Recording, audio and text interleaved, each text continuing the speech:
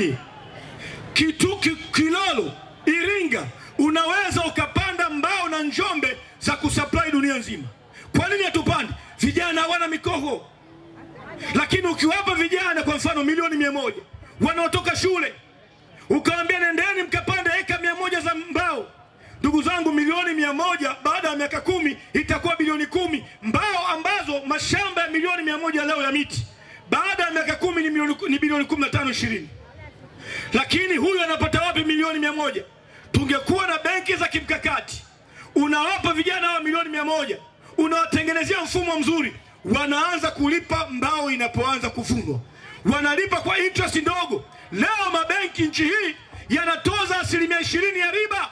Asilimia ishirini ya riba, ukikopa bilioni mia, bilioni moja unarudisha bilio, riba yake ni milioni mia mbili kwa, kwa mwaka kwa mwezi ni milioni kumi na saba kwa siku ni shilingi laki sita. Ndio maana wakopaji wote wa pesa nchi hii wanaishia kufilisika kwa sababu riba ni kubwa kuliko faida unayopata. Huu mji haukupaswa kuwa hivi. Unapita tanga unakuta nyumba ya majani katikati ya ardhi ambayo kila kitu kinaota. Ukiona wazungu wanatubagua, wakati mwingine tusiseme ni wabaguzi, tumetengeneza mazingira ya kuwa maboya.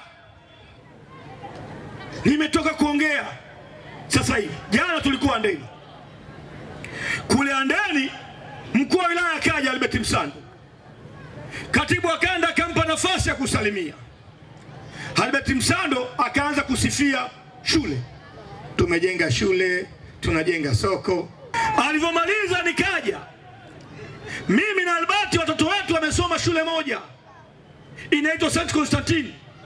Ada ni dola elfu kumi kwa mwaka na zaidi. Dola elfu kumi kwa mwaka ni milioni ishirini na saba.